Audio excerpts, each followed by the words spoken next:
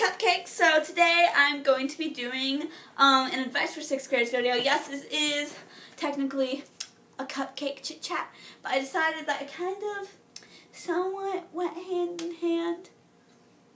I don't know, but uh, it just made sense to me. So um, yeah, and what else was I gonna say? Oh yeah. So um, you don't like just have like this advice isn't just for sixth graders. You can use it anytime. I don't care. So um, yeah.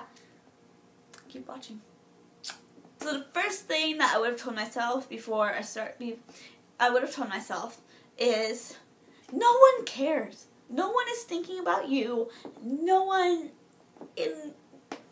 No one is okay. Like, let's say you have to give some PowerPoint presentation or whatever to the class and you're nervous because you don't like talking in front of people and crowds and whatever, like no one's thinking about that. Everyone else is thinking about their own problems and drama and all that other stuff. Like everyone else is thinking about their own little world. Like everyone else is worried about what's happening in their own little world.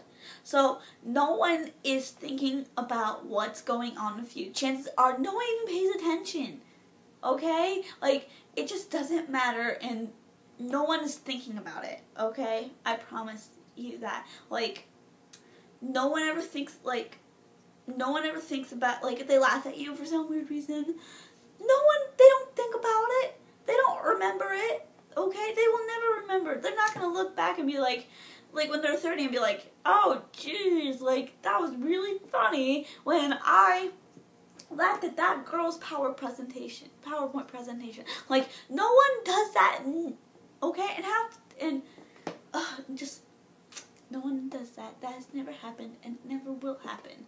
Okay?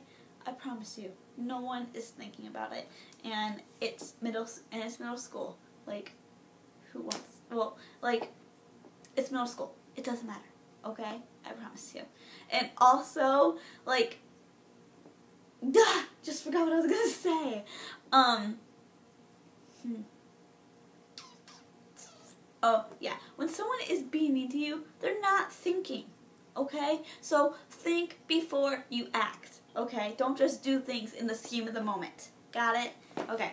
And also, being homoph- being racist and homophobic does not make you cool, never has made you cool, and it never ever, ever ever ever ever ever ever ever ever ever it never ever will make you cool. Like making some fun, making fun of someone's weight that does not make you cool. Making some making fun of someone's race that does not make you cool. Making being homophobic does not make you cool. Like I mean, I don't care if you're homophobic or something like that. Like or if you're homophobic, like okay, fine, go live in La La Land where there's no cupcakes and there's no Starbucks. It's just they just sell poison and coffee mugs. Like, you can go live in that world. Well, yeah, okay, but in reality, where there's plenty of cupcakes and Starbucks, like, it just doesn't matter. Okay, well, I mean, like, it doesn't make you cool at all. It never will, and it never has. It may get you through middle school, maybe a little bit through high school, but after that, what are you gonna do? Like, honestly, it never has made you cool. It never will make you cool, and like seriously, and if you, and I mean like, I would so much rather be cool for being nice and kind and polite and stuff like that than be cool for being homophobic or racist or mean or just plain mean. Like, ugh, it just does not make you cool. It never has made you cool and never will. Okay? Like, just stop okay? And who even cares about being cool? Just, you know, you will have a ton more fun if you worry, if you just be yourself, you know, like that, that big scary, those big two scary words that everyone seems to be afraid of nowadays. Like, duh! It would just be, make you, it would just be, life would just be a whole lot more fun if you do that, okay? I pinky promise. Okay? Pinky, pinky, pinky, pinky, pinky, pinky promise. What's wrong? And also, you do not need a boyfriend or a girlfriend, okay, or whatever you're into. You do not need that. You're in sixth grade, okay? Just stop. Okay? Like, think about it. Would you rather, okay, in sixth grade, you, when you have a boyfriend or a girlfriend or whatever you're into, like, do you, you sit at the same lunch table in an awkward silence? That is what you do. Does that sound like fun? Like, nah, it does not. Or would you rather go hang out with your friends and fangirl over Justin Bieber or something like that? What would, like, what seems more fun to you? And I don't even like Justin Bieber, okay? like, honestly, it just, you do not need a boyfriend in middle, in sixth grade because, like, it doesn't even count because that's all you do. Literally sit at the same lunch table in an awkward silence. It lasts two weeks, and then you're and then you're sad for like a total of 10 minutes and then bam you have another crush on you have a crush on another guy like that is literally how every single middle middle school really and junior high relationship has gone and that's all and that's god that's like what's the word that's all that's ever gone on. Like, that's it. You know, you sit so much table in awkward silence for two weeks. You break up. You're sad for ten minutes, and bam, you have another crush on another on another guy, and you and the cycle repeats. All throughout middle school and junior high. It just does. It, it's true.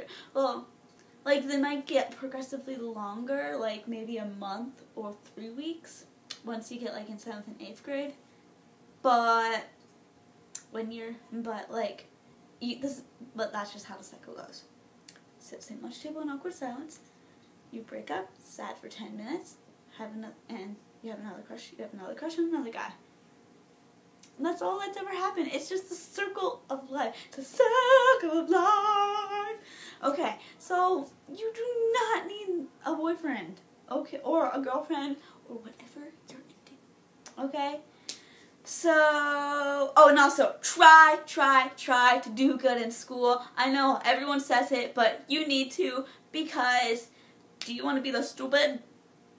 No, you do not want to be stupid. Okay? Because if you're stupid, you don't get the cupcake. Okay? Would you? Do you want a cupcake? If you get all A's and B's this year, I will give you a cupcake. But you have to get, but you have to be good. You have to use the education. Okay? So, yeah, try, try, try in school, and life will just be easy. Because, I mean, like, okay, who, you know what? Who cares if people call you a nerd? What's wrong with nerds? Nothing. I'm a nerd, and you like me, probably, maybe, somewhat, probably not. So, yeah, um, you probably don't like me. So, try in school, and, like, really, like, if someone calls nerd, chances are that person is getting D's and F's.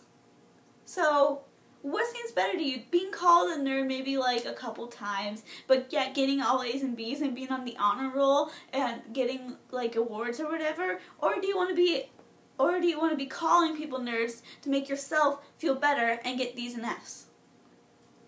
Which seems better to you? Because I would rather be called a nerd. So, yeah, and you know what? Like, I, who, why would you be offended if someone calls you a nerd? Because that, because uh, the definition of nerd means smart. So it's actually technically a compliment. What? So, yeah, that's just my little video. Video. So, um, Yay! Okay, so subscribe, commemorate the bakery, give a cupcake get Sprinkles, follow me on Instagram, Twitter, Tumblr, Kik me, not literally, and comment on this video, like this video, favorite this video, and share, sharing is caring, and peace, hair grease, and mwah, love you, mwah!